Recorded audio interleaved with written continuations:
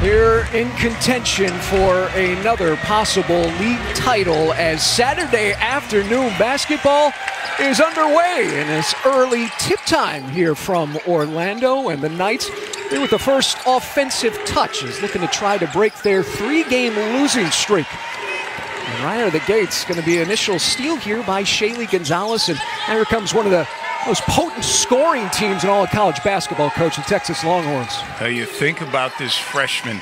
She's already won three gold medals for the U.S. squad and terrific pass inside.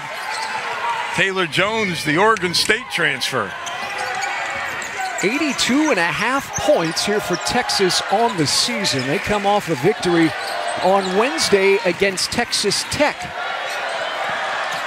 It's for UCF last time out.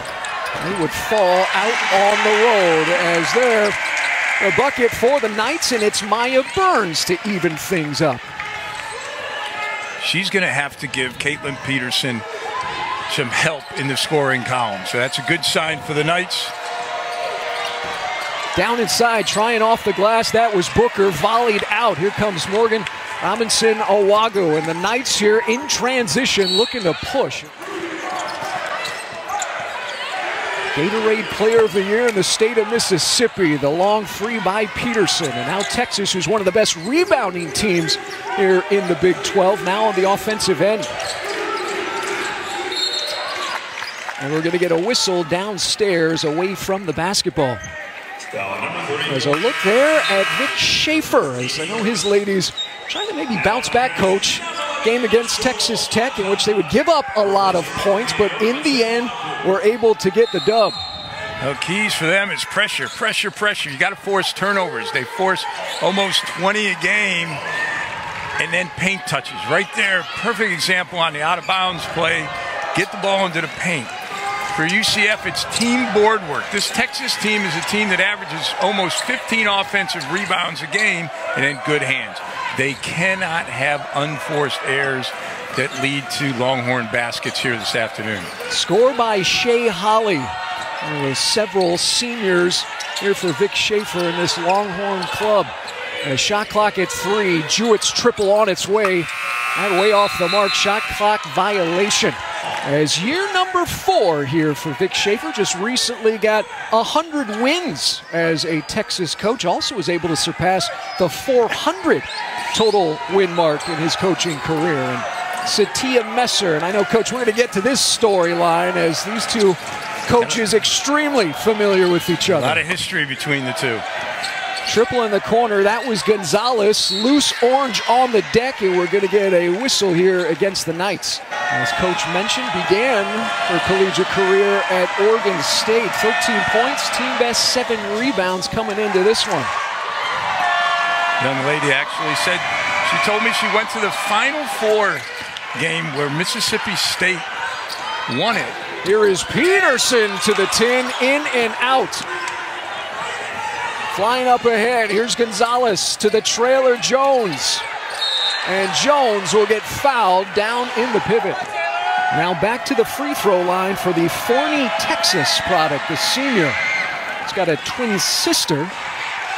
I mentioned that winning streak, seven games. They have won by an average of 13 points. That last game out against Texas Tech, that has been as close it has got, coach, for these Longhorns, who did get injured there before conference basketball began. Achol Akot will have it ripped out of her hands. Scott, even though UCF has not been able to score in the paint, the, the fact that they're attacking the rim will help them later because it'll push the defense back on their heels. And the interception, here's Amina Muhammad.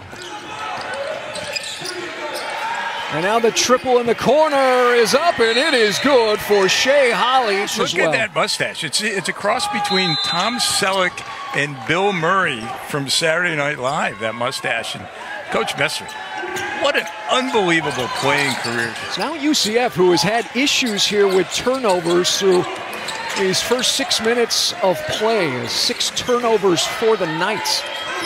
And they're just one of six from the field. Here is Peterson. She's unloading. Comes in averaging 20 and a half points. And Coach Vic Schaefer mentioned that she might be one of the top guards that Longhorn team faces all season. As losing her footing, that was Booker. And now the loose ends. Here's a three on two for the Knights. Pulling up Asia Todd. And the clearance by Taylor Jones. And then the Longhorns are going to give it right back. Miscommunication. UCF has done a good job of, of not turning the basketball over. Jewett. She'll get cut off. Now the open woman in the corner. That's Peterson. Another three. Bombs away. Jones, double team. Now Gonzales, six on the shot clock, dribbles it off of her foot. Longhorns come back out with it, trying to beat the clock, and banking Oh, it home is Madison Booker. Sometimes it's better to be lucky than good. Shot clock expiring, and the freshman hits her first score here of the afternoon.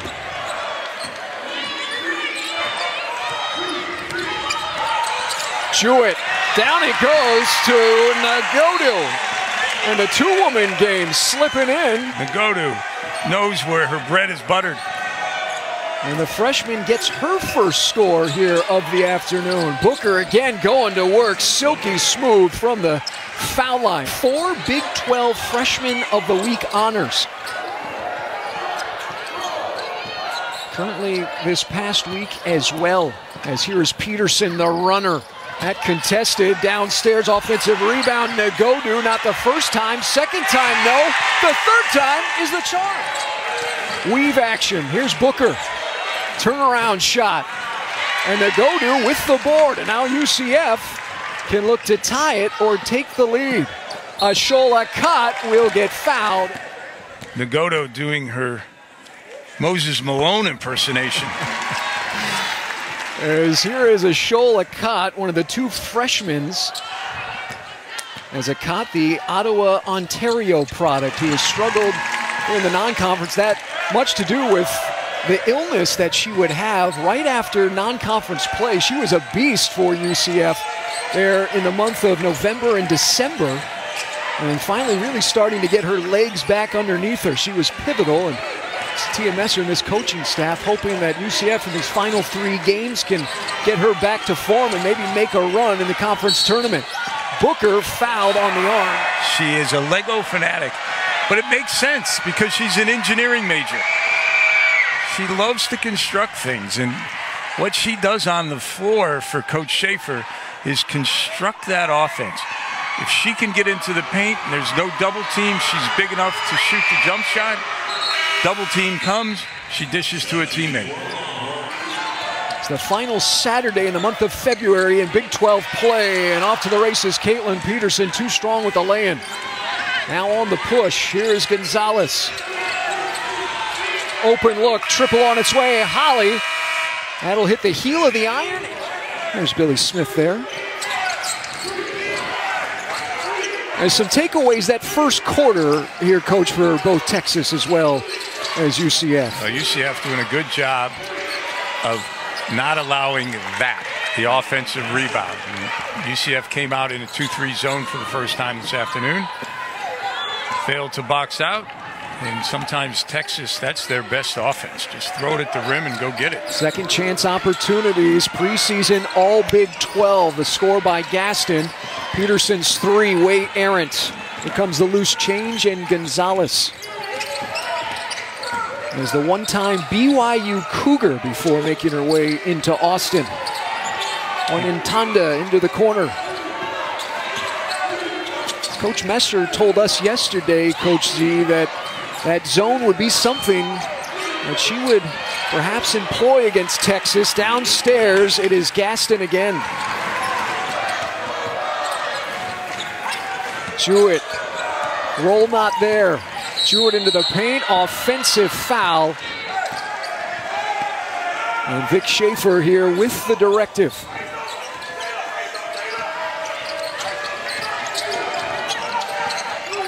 High post it goes. Here's Aaliyah Moore Aaliyah Moore from, from Moore, Oklahoma, and a product of Moore High School. As I joked with her before the game, I, I think they named the town and the high school after her family. And did you ask her for any more I couldn't information get, after I that? could not get any more out of her. Although she does would like to be a broadcaster upon graduation. She's actually going to do an internship this summer out in Los Angeles with Kevin Frazier of Entertain, Entertainment Tonight, or today, I should say. One time ESPN personality Kevin Frazier, errant pass, Texas. Push up ahead. Here's Booker. That's the dime from Gonzales. Easy score in transition.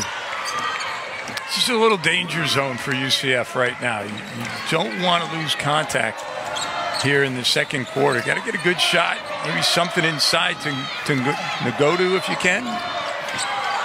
And nearly the interception by Gonzales. It deflects, hits off the mittens of Asia Todd. Now, Texas has imposed their will here in the second quarter.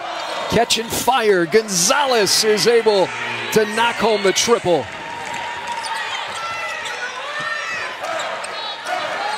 Just the earliest tip time of the season for the Longhorns. Triple, straight away, Jewett, bullseye.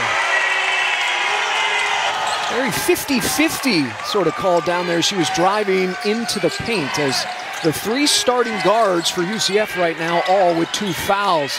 And down inside it goes to DeYona Gaston. Something that they don't play a lot of, but they're going to have to buy some minutes with it, with that this afternoon. And the arm foul, Shaylee Gonzales thought she got all ball. 101 and 30 right now. Vic Schaefer, his tenure at Texas here in this fourth year, leading the Longhorns. Has had such great success at Mississippi State, the national runners-up while he was there. Countless 25 plus wins. So in this 2-3 zone, you've got to attack it at the foul line, try and split the top guys. Backdoor pass, the lob.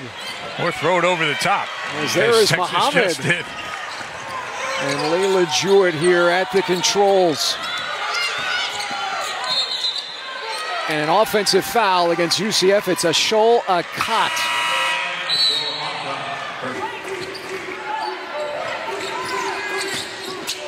On the drive, here's Booker, the contact, and count the bucket.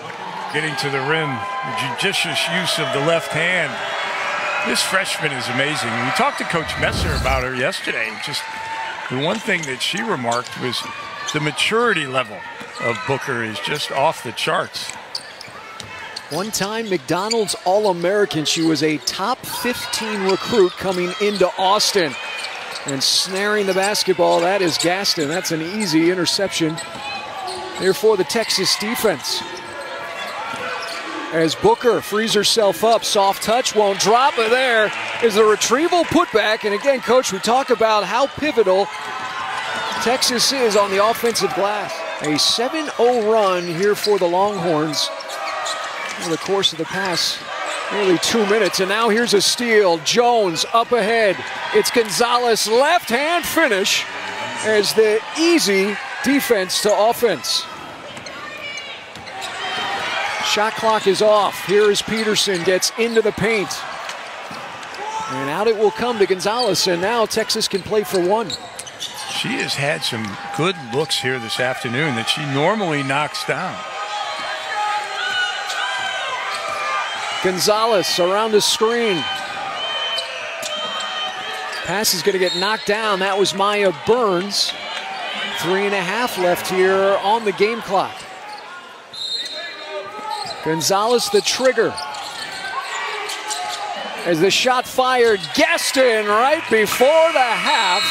And the Texas Longhorns will go into the locker room possessing a 21 point advantage. As two ladies currently in double figures for the Longhorns. A fun one, especially if Oklahoma ends up falling in the Bedlam series. I'm going to go back to what you just said about uh, the early start time. And Coach Schaefer said to us, sleepy teams lose games. Well, they are not sleepy at all. And we'll see if maybe the Knights can wake up here in the second half. Good start. Yeah, well executed play out of the jump. And now full court pressure here for Sytia Messer. Shola Kott, that her first score, the freshman for the Knights, losing her footing. That's Booker. Loose ball on the deck, and now a tie-up. Muhammad, along with Godbolt. Arrow will stay with the ladies draped in burnt orange. To be able to manage the fouls of her three starting guards, she's just going to have to let them go. As you see Burns out there with a couple, Peterson out there with a couple. Let them go. Here is Gonzales. The turnaround in the lane. Crafty move from the veteran.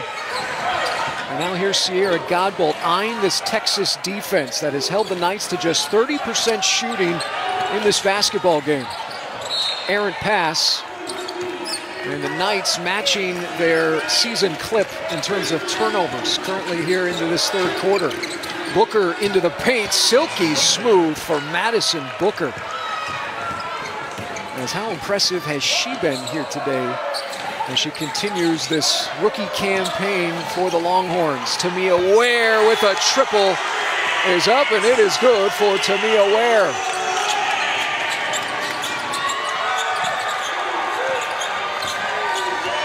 Initial pressure, and now the Knights backpedal defensively. 20-point affair. Booker frees herself up, and she's going to take it. That is way too easy it, for it, Madison Booker. She plays with such great demeanor. She never gets ruffled. She she plays with the right pace. I, I'll harken way back to Nancy Lieberman. That's the type of impact she's making right now as a freshman. Peterson with an answer as amongst the trees goes elevation and gets the score. Gonzales, an open look now here for Holle. Triple, you betcha. As downtown right in front of the Texas bench. Don't settle for a good shot, get a great shot. And then a block shot on the other end as DeYona Gaston says, no soup for you. We played three minutes here into this third quarter as Texas with a 21 halftime, uh, 21 points halftime lead. Maya Burns across the paint. Burns contested. Burns with the contact. Does a terrific job of squaring her shoulders as she shoots it. Three-point play. And Maya Burns able to complete just that. Now with five points. And coach, that's where UCF here on the season, if Maya Burns can score in double figures in games for the Knights, they have been in a lot of close basketball games. It's just whether or not they can get that third third scorer here regularly. And Booker to the deck with a loose ball. It may have come down a little awkwardly on the wrist. They have a chance. And watch Booker. She just loses control of the ball and going after it. They may have caught a, a knee to the mouth. Now you see Sierra Godbolt almost diving ahead. And Booker will take a seat over on Vic Schaefer's bench. So training crew right now for both schools. You're a little busy. Tamia Ware trying to angle, probes in, and Tamia Ware to the tin. And off the bench, a little spark plug for Coach Messer is five points here for Tamia Ware. And the Knights have scored on four of their last five field goals. The drop-off pass and an offensive foul.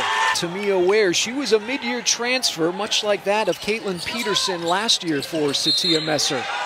And a whistle against the Longhorns as Tamia Ware, who'd been feeling it, has that triple waved off. As that's going to be the 15th foul here against the Longhorns. A lot of clock left the graduate student from Clayton, North Carolina. I believe that's Todd's first made free throw of the season. Her and first attempt, actually. would be correct, sir.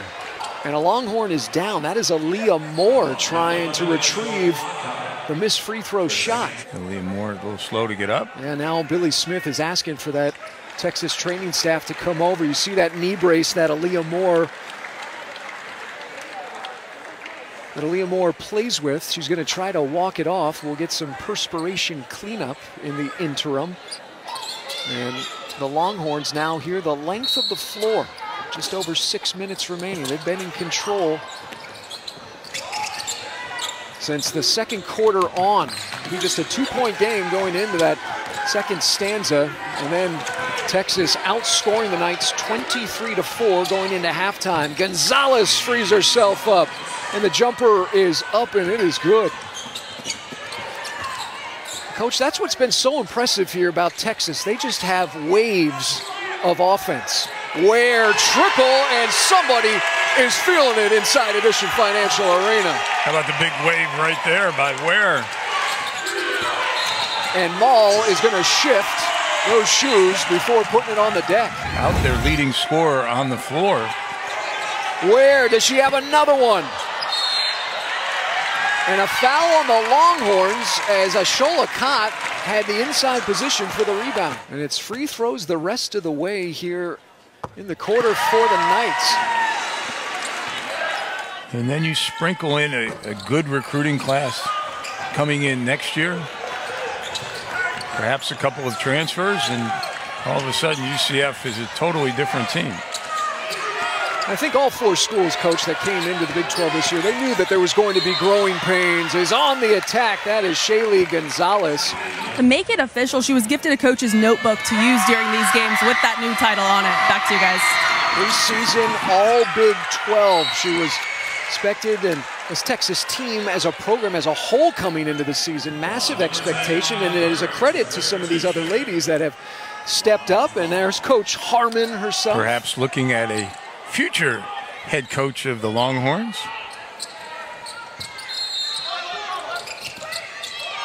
On the lob, Gaston as she goes high and puts it up and in the easy score. Now with 12 points, DeYona Gaston. As the length has been such a factor here this afternoon for Texas.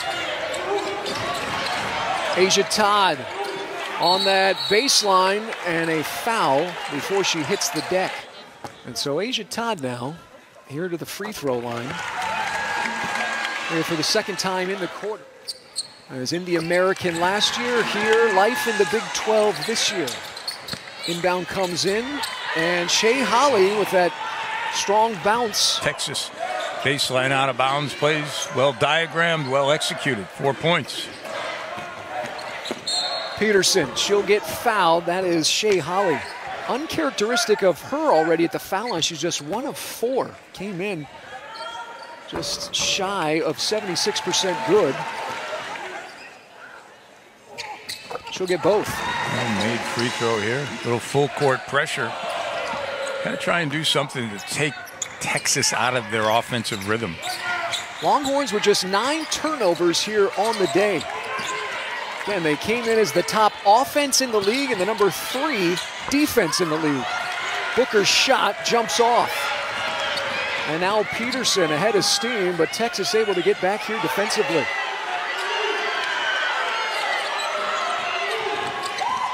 Tamia Ware falls to the deck. Holle comes out with the orange. And now Booker. It's a three on two. Lob pass is going to get knocked down by the Knights as Gonzales trying to find Gaston. Perfect position to get the offensive rebound. Shola Kott coming off with a bit of a limp here for UCF. Jayla Kelly comes in, set piece, well executed by the Longhorns. As now we round in on the final two minutes. Knights have not got a field goal in over three minutes until now. Showing that she's more than just a three-point shooter. Tamia Ware, 10 points alone here in this third quarter.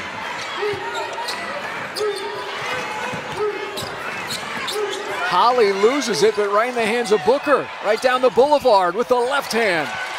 Can't get it to fall. Out it comes to Ware. Now 90 seconds. Tamia Ware off the dribble. Tamia Ware! This quarter belongs to you.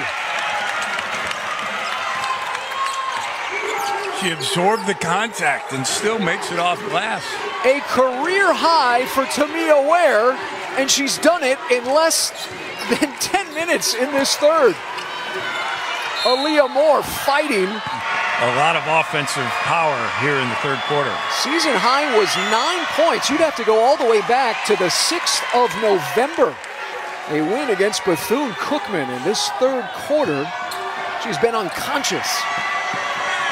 I'm going to go out on a limb, but the points here today are more important than they were against Bethune Cookman. and now Peterson quickly going to reset the offense here for UCF as that shot clock shows eight. Peterson, the runner, no. Moore with the rebound and now walking it up. Here comes Madison Booker, one of four ladies in double figures here this afternoon for Coach Vic Schaefer. And a four second differential on that shot and game clock.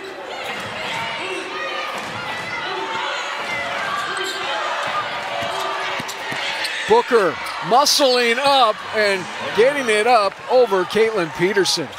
The size is just too much at that point. And here's the heave to Mia Ware, and she nearly hits.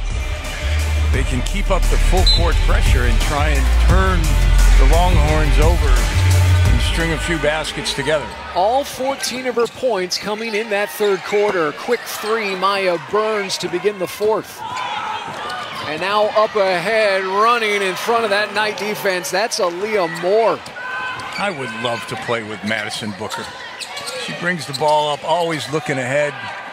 Even though she's their leading scorer, she always looking for her teammates. There's a blockade of Longhorns. The block on Achol Akot, and again out in front, Texas running.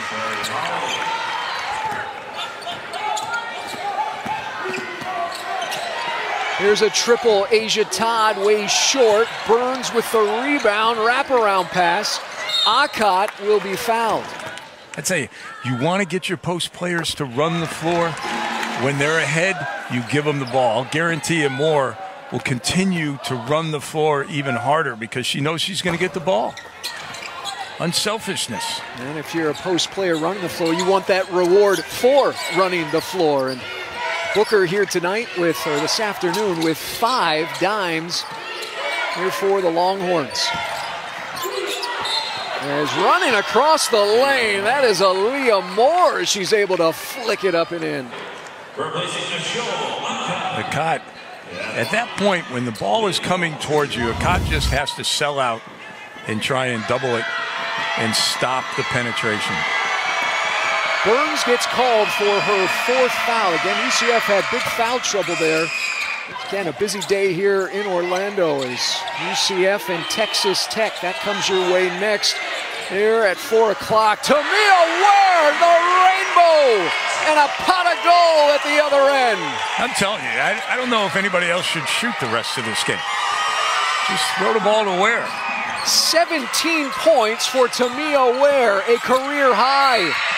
Booker gets challenged by Nagodu and draws the foul.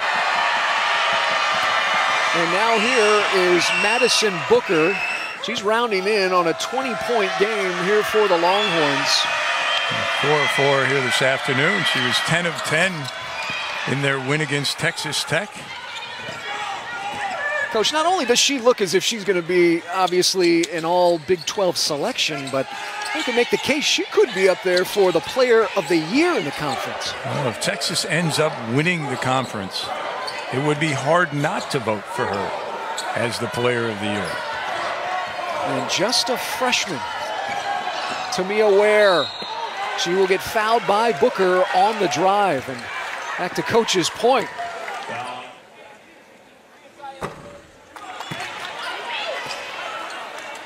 One of our three officials over by that Longhorn bench. Ware misfires on both. And rebound will come down to Booker, who will stay out on the floor with those four fouls.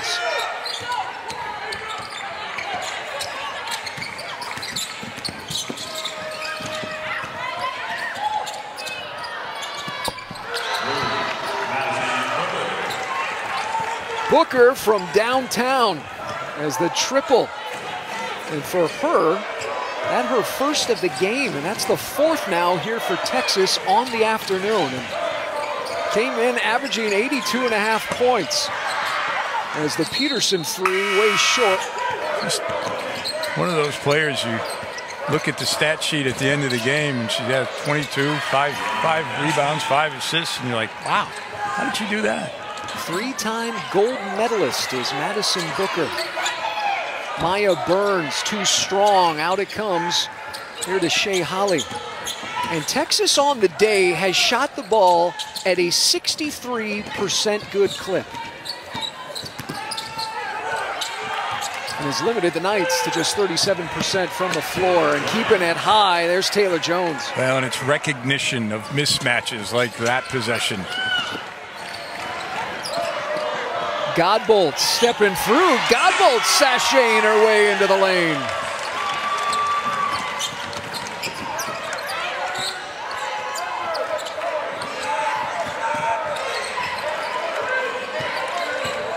Now Gonzales throws it across the paint, and Taylor Jones again keeping it high. Godbolt loses it, retrieves, shot clock at three. Godbolt, Peterson triple is on a rope. Now into the corner, Shay Holle.